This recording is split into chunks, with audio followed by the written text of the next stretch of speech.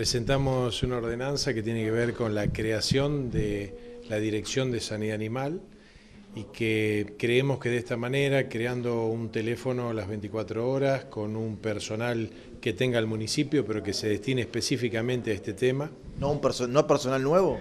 No, no, no. Alguien, alguien que esté en el municipio lo, lo puede hacer perfectamente. Nosotros vemos que eh, el tema de, del control de natalidad a través de de las castraciones es algo importante y que funciona muy bien, pero se tiene que hacer todos los meses, no cada dos meses o cada tres meses, todos los meses. Yo anoche dando vuelta por la ciudad vi una perra que estaba en celos con cinco o seis perros. Bueno, dentro de 90 días, eh, posiblemente en vez de haber seis perros va a haber 16, 18. El, único método que, dicen las protectoras a nivel provincial, nacional e internacional es la castración, el control de natalidad a través de esa forma. Es el, método más humano, digamos, y que hace que, que nuestros ciudadanos no tengan problemas en la calle, que se caen con la moto, que se quiebran una pierna. Después eso trae muchas consecuencias, desde estar en Rosario, internado. Eh, a mucha gente le, realmente le, les cambia la vida para mal y, que les lleva mucho tiempo después recuperarse. Entonces, para que eso no suceda, y además siempre el responsable es el municipio, todo lo que ocurre en la vía pública es el municipio, excepto que ese animal tenga dueño. Pero si no, el responsable de un perro callequero es el municipio. Está comprobado que si el perro es callequero y se hace la castración, el perro se pone más manso, deja de correr los vehículos.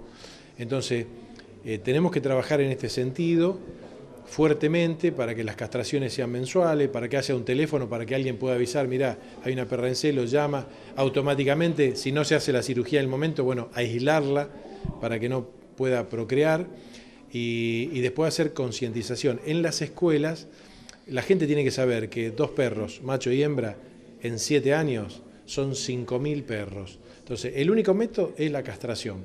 Si todos trabajamos en ese sentido, eh, va a ser mejor para todos. Usted hace un tiempo había presentado, inclusive se, debatió aquí en el Consejo, eh, un proyecto de ordenanza similar. ¿Esto sería más completo? Sí, esto es más amplio. Habíamos pedido un teléfono a las 24 horas y si no a las 24 horas, al menos que sea en el horario de administración pública.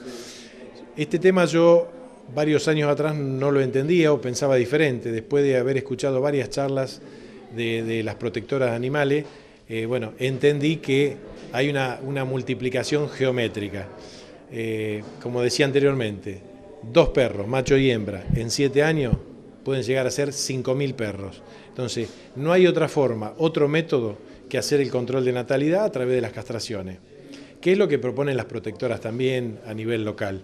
Pero si hacemos castraciones cada dos meses o cada tres meses, no termina dando el efecto querido, el efecto buscado.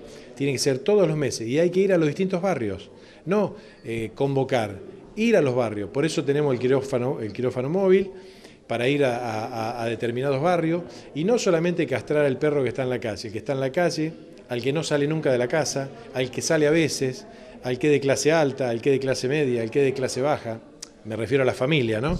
Eh, a todos, a todos hay que hacer este control porque es el único método que funciona.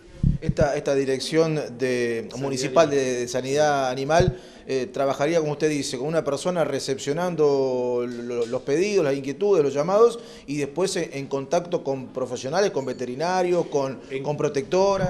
En contacto con las protectoras y después estas castraciones masivas hay que buscar la forma para hacerla quizás por ahí con estudiantes de, de veterinaria, convocar a las universidades, hay que buscarles otra forma para que por ahí no sea tan costoso, pero si no lo hacemos bien, termina no sirviendo.